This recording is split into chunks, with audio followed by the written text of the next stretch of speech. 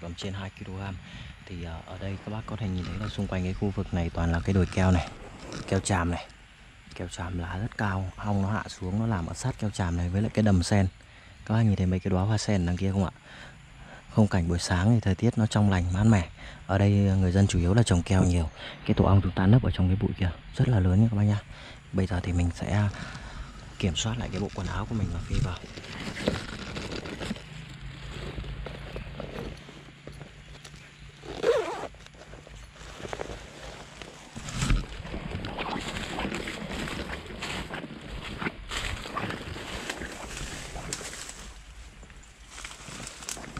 đây các bác xem này kết cấu cái tổ ong nó nó nó làm cái mái lên bên trên này.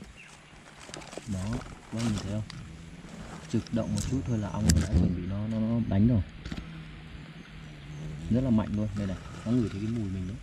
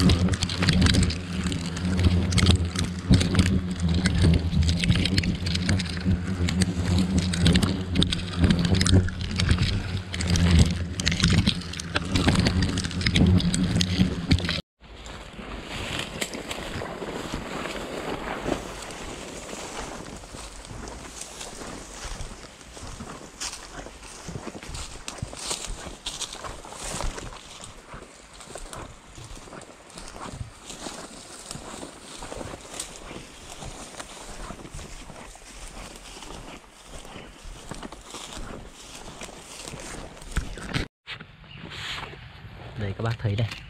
Đấy, nó bám hết vào những cái gốc cây này. Nãy mình không để ý là mình định cắt đi đấy. Cái này là cái chóp cao của nó nhá. Chóp cao này thì nó lại làm cơi lên theo cái cây cho nó chắc tổ được bạn.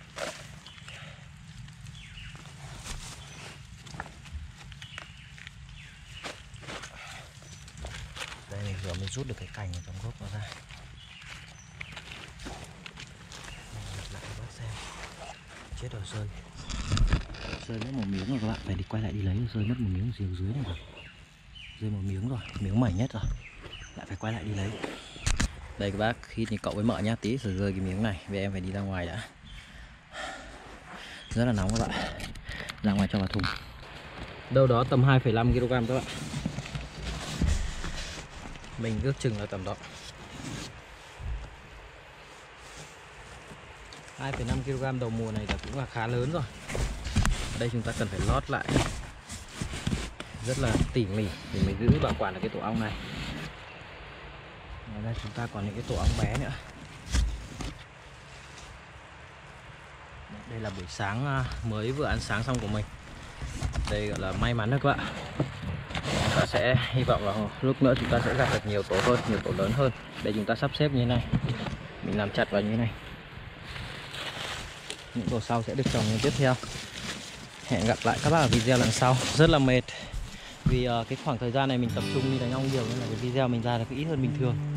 Và cũng không được chi tiết và tóm tắt như xưa. Thì uh, mong các bác thông cảm. Uh, rất vui gặp lại các bác trong uh, tập khác. Bye bye tất cả mọi người.